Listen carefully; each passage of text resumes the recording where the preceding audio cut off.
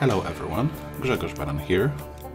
In this video I'm going to present full photogrammetry workflow for PBR materials, but this time with the texture used to carry color information for baking. In details I'm going to present surface capture with the monopod used for camera stabilization, raw image tweaking and micro shadow removal in Photolab 3, photogrammetry reconstruction in Metashape with the texture used to carry albedo information, how to build and align a low poly model for PBR baking in ZBrush to get clean height map without any cross-surface gradient, texture baking with the Substance Designer Baker, manual seam removal, aerial tweaks and manual bug fixing in Substance Painter, how to generate a roughness map and equalize the color in Substance Designer. And at the end, I will apply the result to my standard preview sphere in Marmoset Toolbag 3. I really hope someone will find this video useful and let's begin. As a subject of this capture, I picked a quite generic gravel surface I found on a coastal path. I decided to pick that one since I really like the surface details. Photogrammetry as a technique seems to be the best way to capture surfaces with this level of shape variety. Since it is a quite a walked path, I was trying to pick the time of day without any people walking around. Unfortunately, this path still was quite busy. Due to inconsistent cloud cover and strong wind, the light wasn't very consistent and predictable. Use of the light reflector to remove direct shadows and to compensate constant light changes wasn't an option due to a really strong wind. In result, it limited the possible capture spots to those already hidden in a shadow already. Finally, I picked one in quite narrow part of the path. I unfolded the rulers to 180 centimeters each and placed both of them to the ground as a scale reference and to define the capture area. Since the surface itself wasn't very complex and I didn't want to block already narrow walking paths too long, to speed up the capture I decided to stabilize the camera with a monopod. Next I grabbed the camera and used the X-Rite color checker to set up the custom white balance. As you can see there were really a lot of people walking, but everyone was trying to walk around marked area or at least step over the ruler. I realized that bikes could be a big problem since they usually move faster and driver could not notice the ruler soon enough and accidentally damage it by driving over it. After I set up the custom white balance for the camera, I put the color checker as a color reference in the corner. I set the camera's aperture to 8, focal length to 35mm and mounted the camera on a monopod. The focal length should be constant for entire capture. I have noticed that when I move with the monopod, I move faster than usual and every step I move, I kind of hit the ground with the monopod.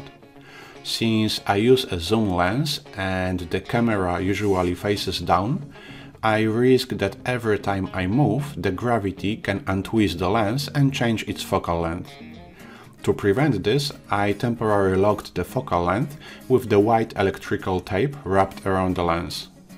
To make sure I will not capture the monopod's leg, and stay away from the area the leg may affect by its own placement on the ground, the camera's frame should be tilted slightly forward.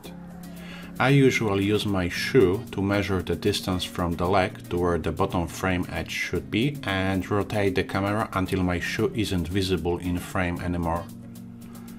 Since the monopod has no arm, I usually bend it forward to get the camera positioned perpendicular to the surface. The monopod is a slightly less reliable way to stabilize the camera than a tripod. It is still way better though than using just our hands. Monopod as a tool helps to maintain the distance to the ground, but overall angling is a bit more random to tripod-based captures. The price we pay for increased capture speed is lower image quality regarding to the sharpness. Usually images captured this way are a bit more blurred to those captured with the tripod, and the level of blur we get is a bit more random. We don't know how good was the capture until we preview all those images on a computer screen later. Usually with a bit of practice for a close surface capture like this one, quality loss is hardly noticeable and isn't very relevant for reconstruction. When the capture is well done, we still get more of reconstruction data to what we usually might need, but if I would want to be 100% sure that the capture is really good and we get 100% of what we can, I would probably use a tripod. Anyway, monopod used for stabilization is still way better and reliable tool to stabilize the camera than using just bare hands. It took me 8 minutes and 175 images to cover the surface. As you can see, all the images I capture with the monopod used for camera stabilization look pretty sharp. But if we take a closer look, we will find out that a few images look slightly blurred when compared to other but it is barely noticeable. The way to measure actual image sharpness is to use image quality measurement tool Metashape offers. We will do it after we upload all images for photogrammetry reconstruction later, just to compare the best and the worst image from this capture and see the level of quality inconsistency when we use the monopod for stabilization. So far I'm happy with the image quality and I'm sure it's way beyond what we need for the job. Next, let's process all 175 raw images in Photolab 3 to calibrate the color, calm down highlights and push dark areas up a bit to remove ambient occlusion shadows.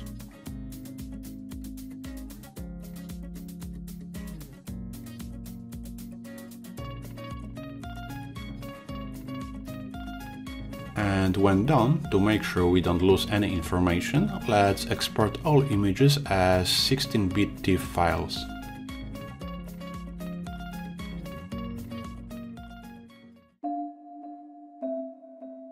Next, let's bring all TIFF images into the Metashape and generate the high poly model.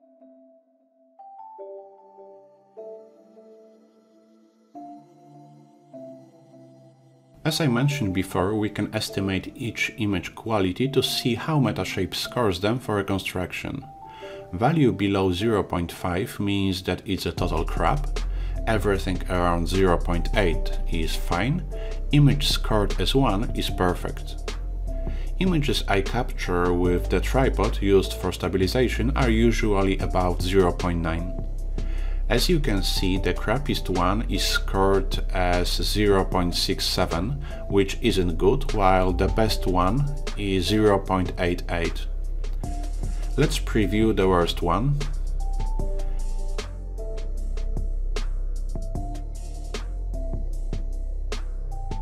And the top one to compare. You can see that a bad one is a total disaster compared to the best one.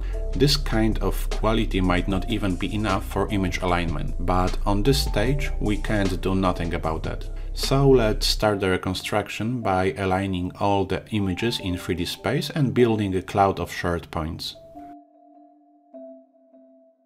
With this setting it takes about 40 minutes. All aligned images are marked in align column with a tick. As you can see, all, with even the crappiest one were aligned. By selecting the crappy image, we can roughly estimate which area it covers and pay a bit more attention to it after reconstruction is over. Or since we probably have enough information from surrounding images, we can even exclude this image from reconstruction if we really want to but let's keep it as it is and start the actual photogrammetry reconstruction. Before we proceed, let's limit the reconstruction area by adjusting the bounding box.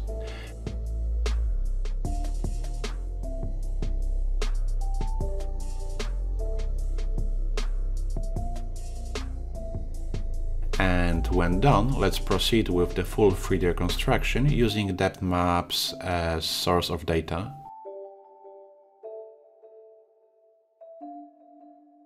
This reconstruction took 9 hours.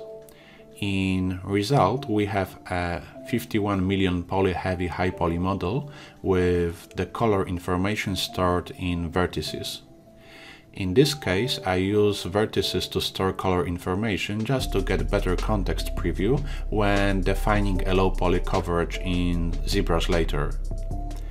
To roughly check their construction quality, Metashape offers a model confidence tool. This is a heat map type preview which basically informs us how many depth maps were used to generate the points of polygons in certain areas. The heat map color goes from red to blue. Blue parts have more input information and therefore are more accurate and more detailed, whereas red areas have considerably less information on input and are less accurate.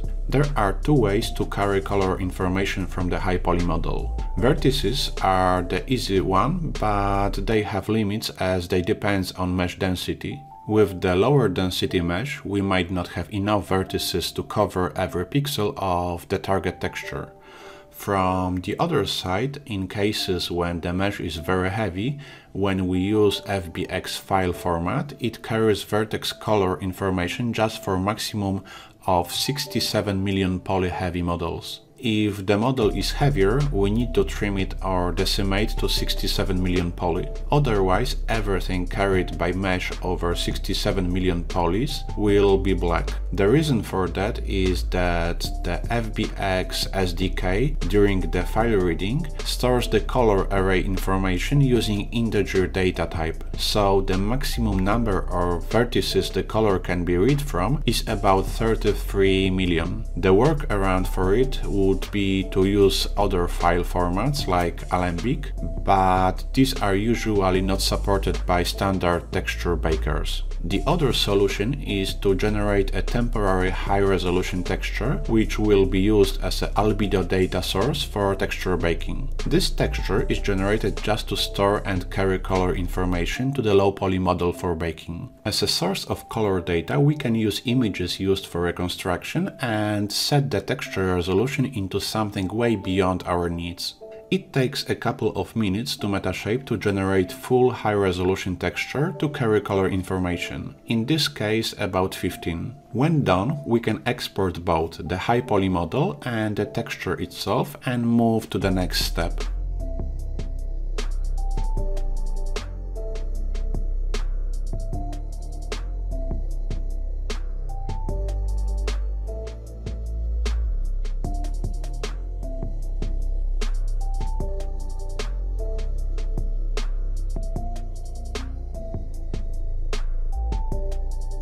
This is the temporary texture generated to carry albedo for baking.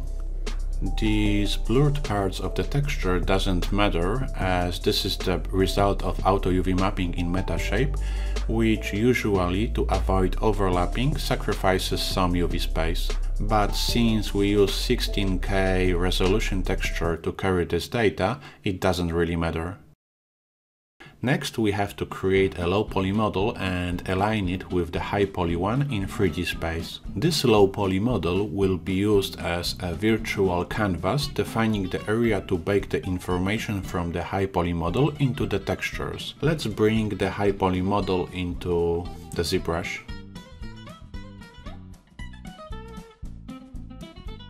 As you can see, 50 million poly is still too much for ZBrush and it can't bring it in. To fix this, let's jump back to the Metashape and decimate our high poly model to about 10 millions.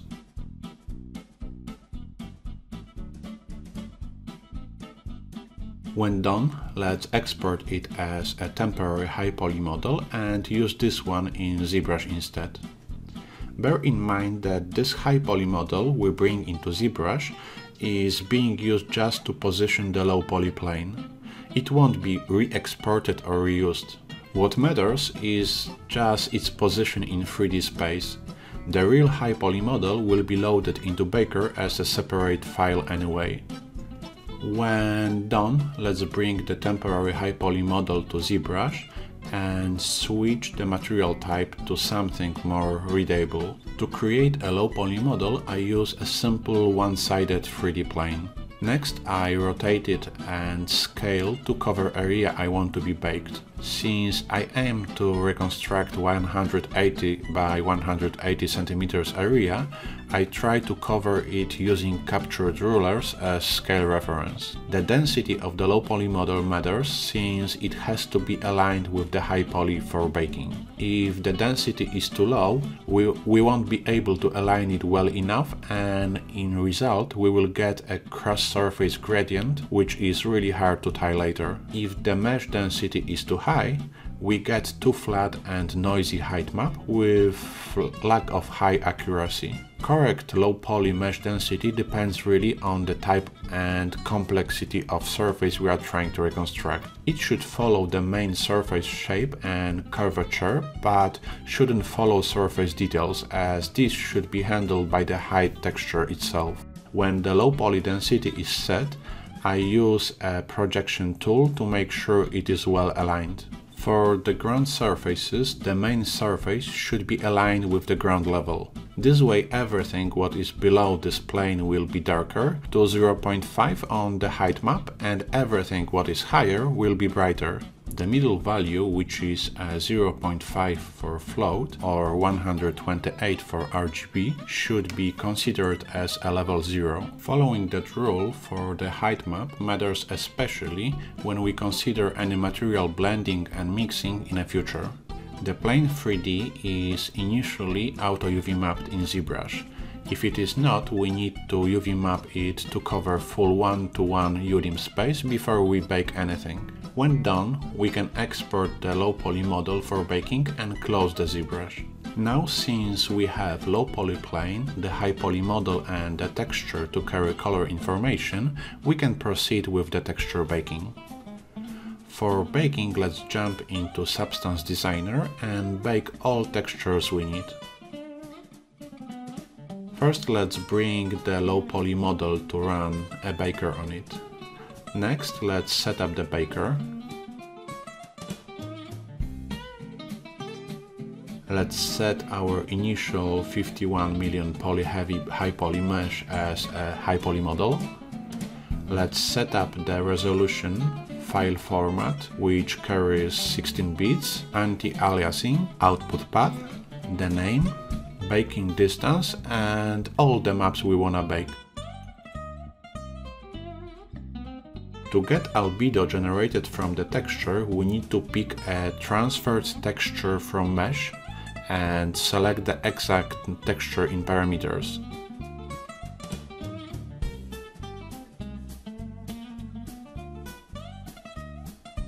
A thickness map can be useful to generate roughness map later. When ready, we can hit the start render button and bake the textures and this way we have textures ready for seam removal, surface logic rearrangement and bug fixing. Let's bring them to the Substance Painter and proceed with the manual seam removal. To start we need to bring all baked textures and a plane which can be used to paint on it and preview the result. It can be a simple square plane UV mapped to cover full one-to-one -one UDIM space but I have designed a bit more fancy one which covers additional 20%. This additional space helps me to deal with the seam removal on the texture's edges.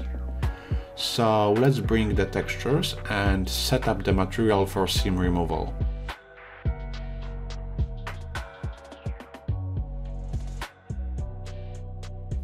Let's remove metallic and roughness channels since we don't have any maps to cover them yet.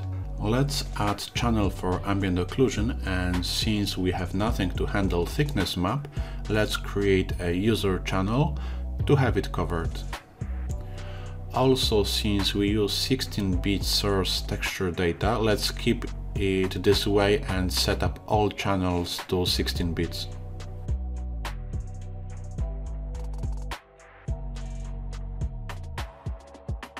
Next, let's create a fill layer and fill all channels with actual data.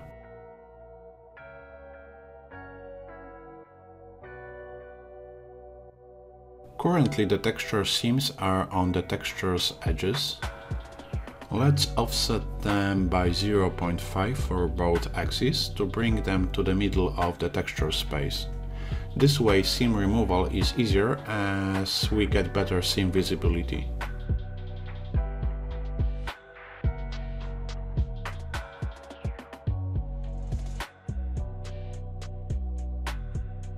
To remove the seam and paint the texture, we need to add a paint sublayer and set each channel to pass-through mode.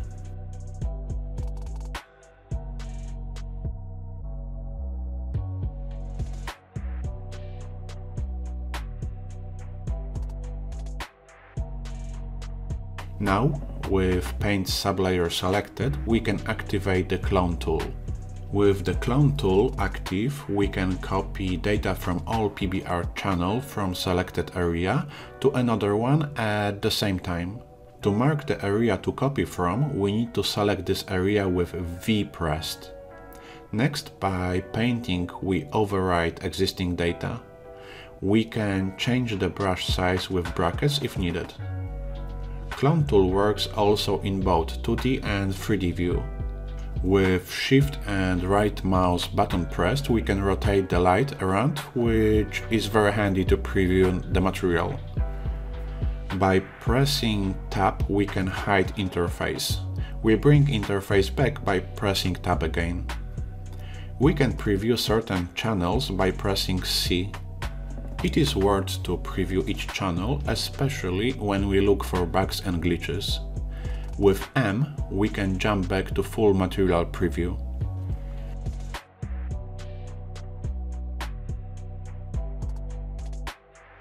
There is a noticeable color inconsistency across the surface, but we shouldn't worry about that, as this is something we are going to remove with the color equalizer in the next step.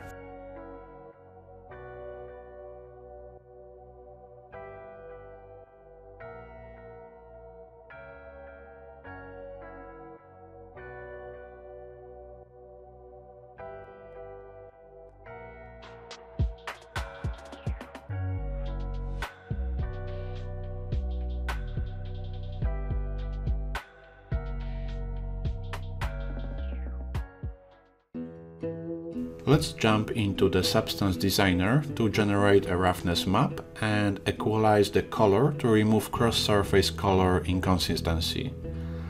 Let's start an empty project with the PBR metallic roughness template and bring all textures there. Let's add comments to them so it will be easier to follow what I do.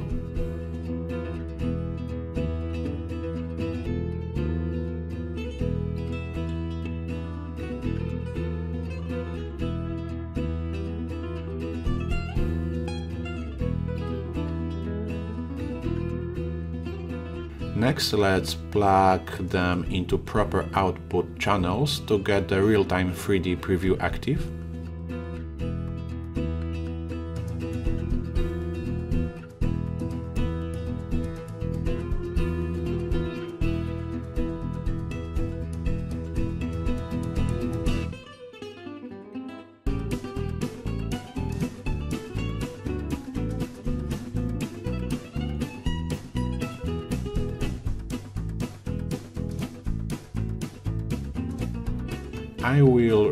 Rearrange windows so you can see what I do better.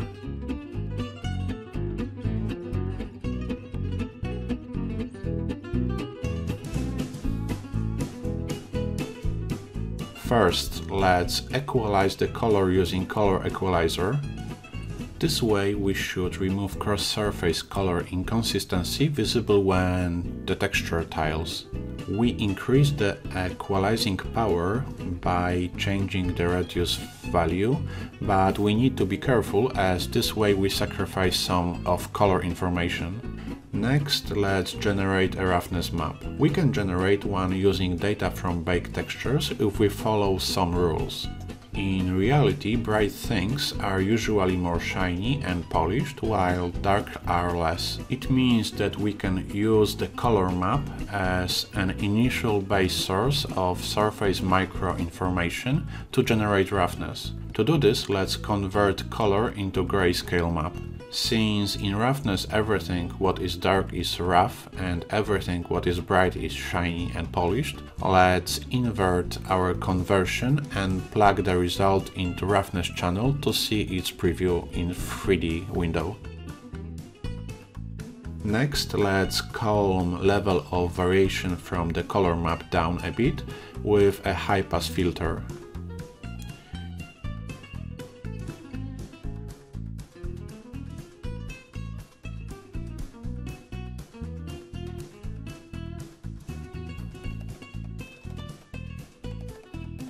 Usually, places hidden in a shadow aren't as reflective as those exposed, so let's use the ambient occlusion map to multiply our roughness from the color.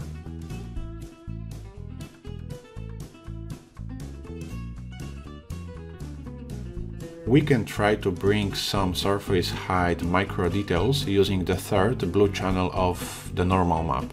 This channel is responsible for z-axis information.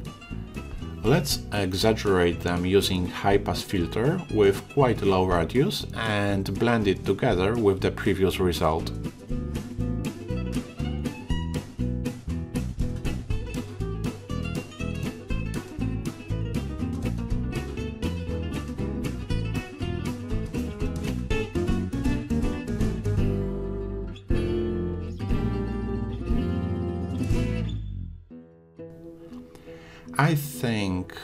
Have quite decent roughness already, but we can go even deeper and add even more roughness details by multiplying the thickness map with the current result.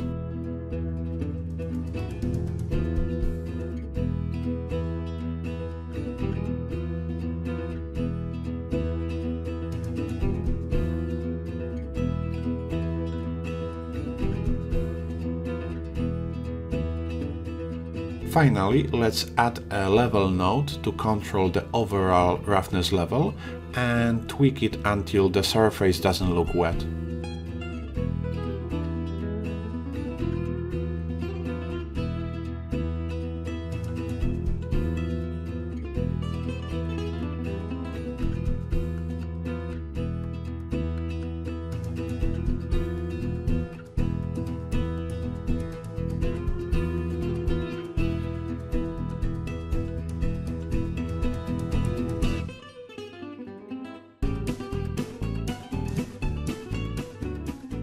When done, let's export all the channels.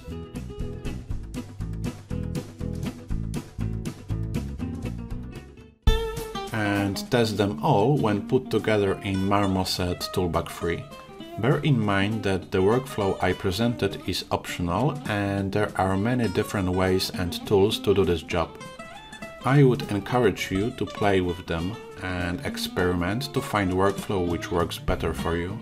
For those who want to dig a bit deeper into my photogrammetry workflows, there is an ebook I wrote while ago. I will leave link to it in this video description. I hope you enjoyed the video and found here something useful to yourself. If you did and want me to create and share even more videos like this one, please leave the thumbs up, drop a comment and subscribe to my channel. Big thanks to all of you who did it already. Thanks for watching and till the next one. Bye!